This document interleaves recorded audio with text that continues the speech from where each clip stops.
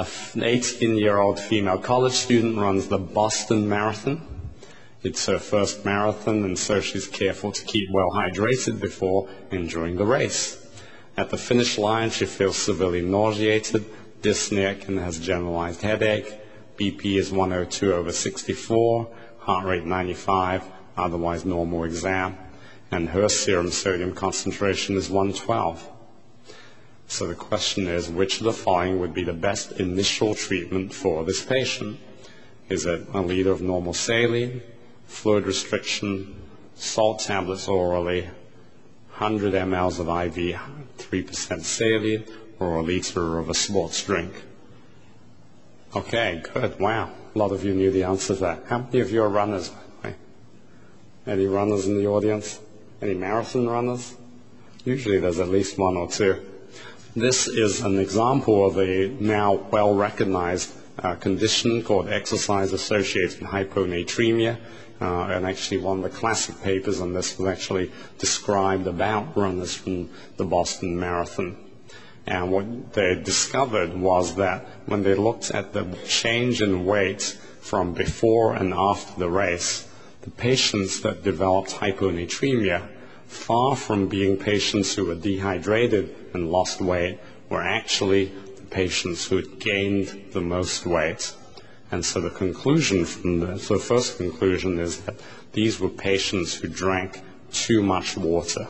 So a lot of them were novice runners who weren't really sure how much to drink and followed recommendations to drink as much fluid as possible.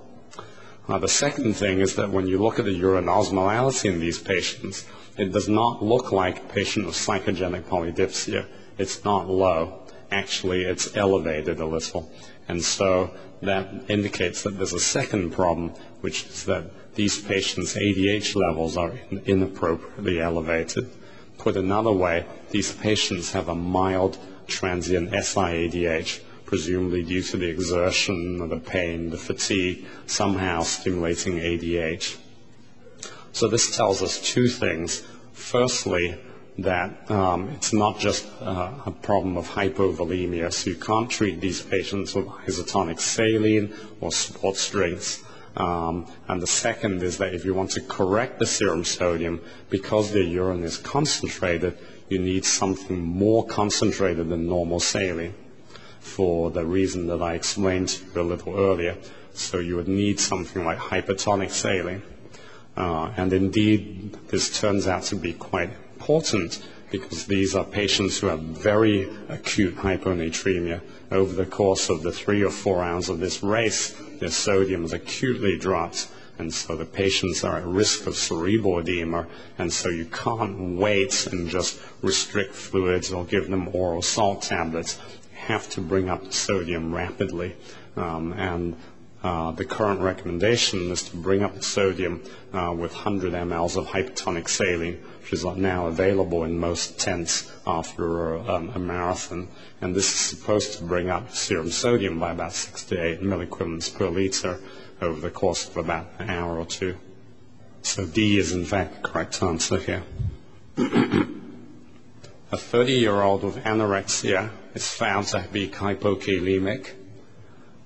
K is 3.2, bicarb of 32, urine volume is 1 liter, it has 80 milliequivalents per liter potassium.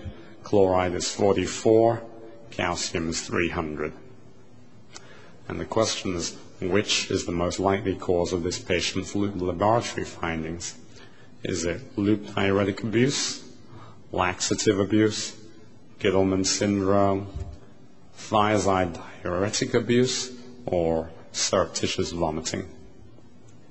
Okay. Good. So half of you picked the correct answer, which is that this is probably loop diuretic abuse. And I'll go through why that is, because this is a challenging case. So in the differential diagnosis of hypokalemia, we have to consider shift of potassium into cells, GI loss of potassium, or urinary K wasting. Uh, when you get a question like this on the boards, they'll probably the 24-hour urine potassium. So in the setting of hypokalemia, 24-hour urine potassium should be reduced. If it's not, meaning more than 25 milliequivalents per day, it suggests they're losing potassium in the urine. Um, there's a very wide differential diagnosis. This is a very busy slide. Uh, suffice it to say that on this side are the patients that have hypertension and hypokalemia, and those are all forms of hypo, uh, sorry, hyperaldosteronism, uh, and that's not the case in this patient. Uh, on this side are patients that have euvolemia or even hypovolemia and have hypokalemia. And the common causes of this are vomiting, Bartter's and Gitelman's, and diuretic abuse. Or let me rephrase that. The common causes that cannot be elicited simply by taking a history are Bartter's and Gitelman's, diuretics, and vomiting, which can be surreptitious. In this case, the clue here is that the urine chloride was high. So in patients with vomiting and hypokalemic metabolic alkalosis, the urine chloride is low. Here, the urine chloride is a surrogate measure of volume status, where a patient who's vomiting and volume depleted will lower their urine chloride as much as they can. So low urine chloride suggests vomiting. If the urine chloride is high, that suggests that the patient has a disorder associated with sodium chloride wasting, which means either that they are receiving a drug that inhibits sodium chloride reabsorption, such as a loop thiazide diuretic, or they have a genetic mutation that inhibits the sodium chloride transporter. Now, the other clue here, um, so this is a very subtle point, is the patient's urine calcium was high. So, Bartter's and loop diuretics act in the thick ascending limb, and both of those are associated with hypercalciuria, whereas Gitelman's and thiazide diuretic use do the opposite. They actually lower your urine calcium. And we know this because that's why, we use thiazides to treat, for example, patients with idiopathic hypercalciuria who are forming kidney stones. So this patient had a high urine calcium, so the most likely cause is either abusing loop diuretics or Bartter's. Now, Bartter's is a disorder of infancy, very unusual to present in adult life. So uh, most likely this patient was surreptitiously abusing loop diuretics, which, as you know, can be quite common. Uh, case 12 is a 23-year-old male with a newly diagnosed hypertension. He is asymptomatic, has no family history, is just very mildly obese, and this is his blood pressure, 145 over 97, and his potassium is 3, bicarb is 29, and he has a plasma renin activity of 0.7 and a plasma aldo of 3.9, both of which are below the normal range. 25 urine potassium is 65. And so the question is, what would be the best next diagnostic test? Is it serum metanephrines, Doppler of the renal arteries, 24 urine aldo, 24 urine 18 hydroxycortisol and 18 oxocortisol, or 24 urine cortisol levels. And um, yeah, there's a little confusion here. I suspect a lot of people chose D because it's the one that they didn't really know too well and seemed like the last option. Actually, E is probably the correct diagnosis here, and I'll tell you why. So if we follow the algorithm for a patient with hypertension, which is probably secondary hypertension because it presented in a 23-year-old, hypertension and hypokalemic metabolic alkalosis, as I mentioned, these are patients that have hyperaldosteronism, by which I mean that either their aldo levels are high or they're having a condition that mimics high aldo levels. The classic cause of this condition is Conn syndrome or primary hyperaldosteronism, which is a condition that causes unrestrained release of aldosterone which secondarily feed back to the renin to lower renin. So in primary hyperaldo, renin levels are low and aldo levels are high. uh, glucocorticoid remediable aldosteronism, which is an uncommon genetic disorder that causes hyperaldosteronism, has a biochemical profile that's identical.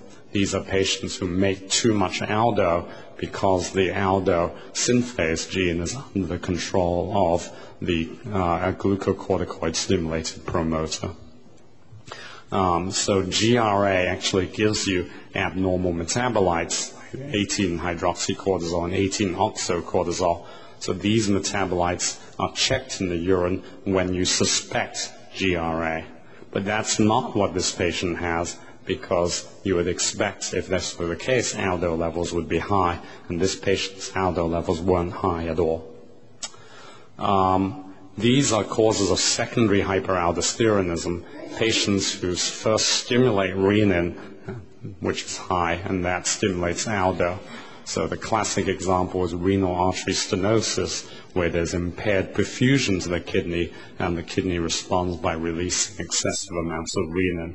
Reninoma is a rare tumor of the um, juxtaglomerular apparatus that also releases too much renin. But again, that's not what this patient has. This patient falls into this group, patients who behave as if their aldo levels are high, but in fact have low aldos, low renin. Why could you have that? Uh, commonest cause Cushing's. Remember, glucocorticoids are able to stimulate the mineralocorticoid receptor if present in excess. So Cushing's can do it. Liddle's, an inherited disorder of excessive amounts of uh, excessive activity of the epithelial sodium channel, ENaC. Uh, licorice and the syndrome of apparent mineralocorticoid excess are conditions where there's inhibition of that enzyme, beta HSD, that degrades cortisol. So any of these are possible in this patient, but statistically speaking, uh, the most common is Cushing's, and so you'd be obliged in this patient to check cortisol levels, and so E is in fact the correct diagnosis here.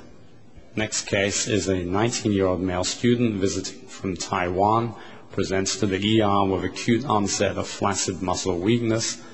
He denies diarrhea or vomiting, on no meds, and his potassium is 1.7, bicarb is 25, urine potassium is less than 5. Uh, which of the following would be appropriate in the management of this patient? Should you repeat with 160 milliequivalents of KCl? Should you give this patient loperamide, indomethacin, check TSH level, or do none of the above? Okay, good. So most of you chose the correct answer, which is D. So um, this patient's urine potassium was very low. So this is not urinary K wasting. Uh, if this were GI loss, the patient would have had to be have very severe diarrhea or vomiting to get your serum K down to um, 1.7, and doing so without any acidosis or alkalosis would be quite unusual. So this is obviously a case of cellular shift hypokalemic periodic paralysis comes in two uh, flavors, an inherited form, which is quite rare, and an acquired form, which is quite common, uh, particularly in young Asians associated with thyrotoxicosis. And the appropriate response to this is to check thyroid function and to make sure that you don't replete these patients with too much potassium since these patients' whole body potassium stores are actually normal, loading them up with too much potassium uh, in response to this very low serum potassium is potentially dangerous because they can rebound and develop hyperkalemia. Uh, next case is a 67-year-old male with hypertension for 30 years who's been having worsening blood pressure control just over the past year. And he had an MI two years ago, He's on a bunch of cardiac meds. Blood pressure is 163 over 95. Uh, K is 3.4, bicarb 27. Um, urinalysis has shown, serum creatinine is a little elevated at 1.6. And the question is, which test would you want to use to uh, identify the cause of this patient's hypertension? Is it MRA of, the renal arteries, CT scan of adrenal glands, serum metanephrines, urine tetrahydrocortisol to tetrahydrocortisone ratio, or none of the above. Okay, good. So most of you chose A, which is an MRA of the renal arteries.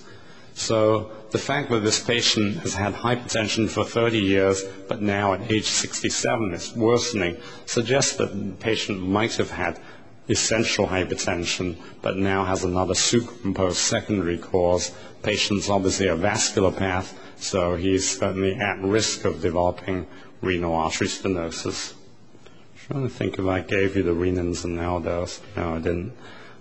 So that would certainly be my, my first guess. And so in that setting, the appropriate workup would be some sort of uh, imaging test for the renal arteries, either a MRA or a Doppler. Um, CT scan of adrenal glands is not really an appropriate first diagnostic test for anything. If you suspect uh, syndrome, which is also in the differential, although less likely at this age, uh, the appropriate um, workup is first to check renins and aldose. Doing a CT scan doesn't help because it simply picks up uh, so-called adrenal incidentalomas that you then have to work up again to see whether they're even functioning or not. Uh, serum metanephrines uh, to work up for um, um, um uh, adre- adrenaline, adrenaline secreting tumor, uh, pretty unlikely here and urine tetrahydrocortisol to tetrahydrocortisone ratio that's used to look for patients with the syndrome apparent mineralocorticoid excess, which A is extremely rare and B shouldn't present initially at age 67. And so A is the best answer here. Uh, and this is again to remind you uh, of the causes of hyperaldosteronism, both common and rare, and to show you how you would work it up. So renal artery stenosis, you'd work up with either a, a captopril renal scan or a Doppler ultrasound or an MRA. Primary hyperaldosteronism, we usually screen for by looking at the aldo concentrations of renin uh, activity ratio, and if it's high, we would do a confirmatory test uh, where we salt load them and either measure serum aldo or 24-hour urine aldo. GRA is usually detected by looking for abnormal metabolites in the urine, 18-oxo and uh, hydroxycortisol. Cushing's, we would look for at cortisol levels. Liddle's nowadays is usually diagnosed by mutational analysis, and the syndrome of apparent mineralocorticoid excess is detected by, again, an abnormal ratio of the tetrahydrocortisol to tetrahydrocortisone metabolites in the urine.